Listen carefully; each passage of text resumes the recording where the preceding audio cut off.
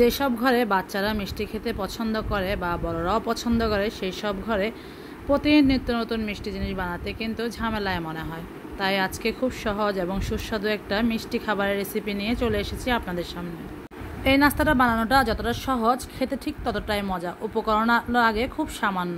চলুন তাহলে চলে যাই মূল রেসিপিতে প্রথমে একটা কড়াইতে আমি দুই টেবিল চামচের মতো ঘি দিয়ে নিচ্ছি। এখানে চাইলে আপনারা বাটারও ব্যবহার করতে পারবেন। ঘিটাকে হালকা আঁচে একটু গলিয়ে নিচ্ছি আর পুরো কড়াইটাতে ছড়িয়ে দিচ্ছি। ঘিটা যখন হালকা মেল্ট হয়ে যাবে, তখন এখানে আমি এক কাপ সুজি দিয়ে দিচ্ছি। এই নাস্তাটার মূল উপকরণটাই হচ্ছে সুজি। খুব সহজে ঘরে সুজি থাকলে আপনি এই রেসিপিটি বানিয়ে নিতে পারবেন। সকালে বা বিকেলে যে কোনো সময় নাস্তা এটা পরিবেশন করতে পারবেন। চাইলে মেহমান আসলে অথবা বাচ্চাদের টিফিনেও দিতে পারবেন। প্রথমে আমি ঘিয়ের মধ্যে সুজিগুলোকে খুব ভালো করে ভেজে নেব। এরপরে আমি দিয়ে দিচ্ছি ওয়ান থার্ড কাপ চিনি। চিনিটা আপনারা আপনাদের পছন্দ মতো দিবেন। অনেকে এক কাপ সুজিতে হাফ কাপ চিনি দেন, আমি একটু কম দিয়েছি। এটাও কিন্তু যথেষ্ট মিষ্টি হয়েছে। যারা কম মিষ্টি খেতে পারেন না, তারা অবশ্যই হাফ কাপ দিয়ে নিতে পারবেন। এটাকে চিনি, সুজি এবং ঘিয়ের মিশ্রণের সাথে খুব ভালো করে তেলে ভেজে নেব। যতক্ষণ পর্যন্ত না এটা হালকা একটা কালার পরিবর্তন হয়ে যাবে এবং সুন্দর একটা ফ্লেভার আসবে ততক্ষণ পর্যন্ত এটাকে একটু ধৈর্য ধরে ভাজতে হবে। প্রায় সাত থেকে দশ মিনিট পর্যন্ত এটা ভাজা লাগতে পারে। আমার প্রায় দশ মিনিটের মতো লেগেছে। আমি খুব আস্তে ধীরে সুন্দর করে এটাকে লাল করে ভেজে নিয়েছি। আর এটা নাড়তেই থাকতে হবে, কারণ এটা পুড়ে যেতে দেওয়া যাবে না। পুড়ে গেলে এটার টেস্টটা পুরোটাই খারাপ হয়ে যাবে। তাই এই দিকটা একটু খেয়াল রাখতে হবে। সুজিগুলো যখন লাল লাল হয়ে, ভাজা হয়ে গিয়েছে এই পর্যায়ে আমি দিয়ে দিয়েছি গরু দুধ। গরু দুধটা, সুজিটা ভাজা হওয়ার শেষের দিকেই দিতে হবে, না হলে দুধটা কিন্তু পুড়ে যেতে পারে। দেখতেই পাচ্ছেন, সুজিগুলো কিন্তু এখন দ্রুত লাল হয়ে আসছে। এ পর্যায়ে আমি সুজিটাতে অ্যাড করে দিব পানি। আমি গুঁড়ো দুধগুলো সুজির সাথে ভালো করে মিশিয়ে নিয়েছি।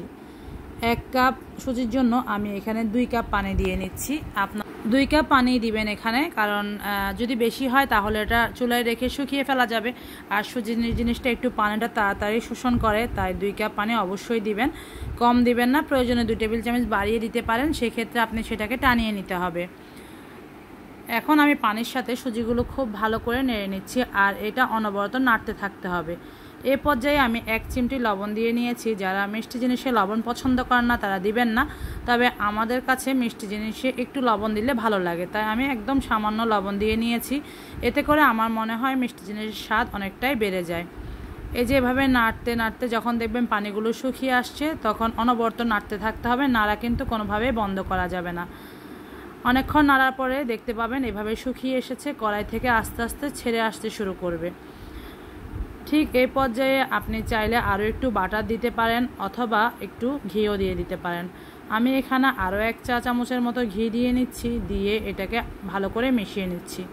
এটা প্রায় রান্নার শেষ পর্যায়ে। এই পর্যায়ে যদি একটু ঘি দেওয়া যায়, তাহলে এটার ফ্লেভারটা অনেক ভালো পাওয়া যায়।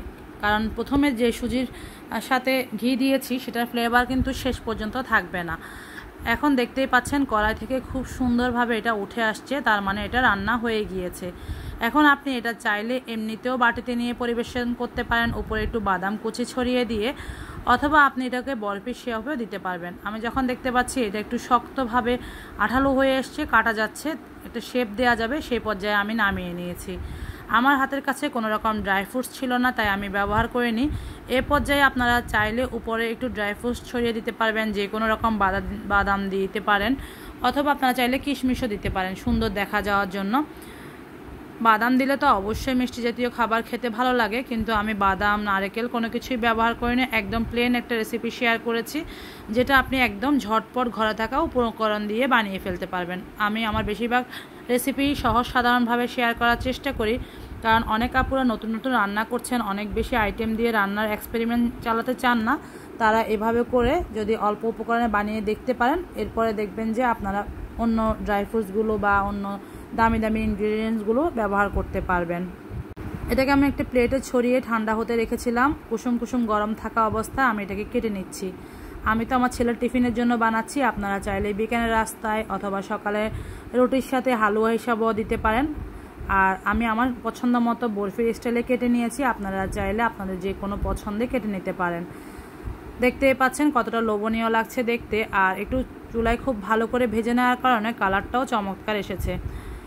আমাদের জন্য চিনিটাও পারফেক্ট হয়েছে। আমি বলব, যারা চিনি বেশি পছন্দ করেন, তারা বাড়িয়ে দিতে পারেন, তবে চিনি কম খাওয়াটাই ভালো। অনেক বেশি সুন্দর হয়েছিল, আমি যেমনটা চেয়েছিলাম ঠিক তেমনটাই। আর আমার বাচ্চারা তো মিষ্টি জিনিস খুবই পছন্দ করে। বিশেষ করে আমার বড় ছেলে মিষ্টি জিনিস পেলে তার আর কিছুই লাগে না। ও খুবই পছন্দ করেছে আর এসে বলছে যে ওর বন্ধুরাও নাকি অনেক পছন্দ করেছে আজকের নাস্তাটা। আপনাদের কাছে কেমন লেগেছে আমার এই নাস্তা রেসিপিটি অবশ্যই জানাবেন। যদি ভালো লাগে রেসিপিটি শেয়ার করবেন, লাইক করবেন। সবাই ভালো থাকবেন। আল্লাহ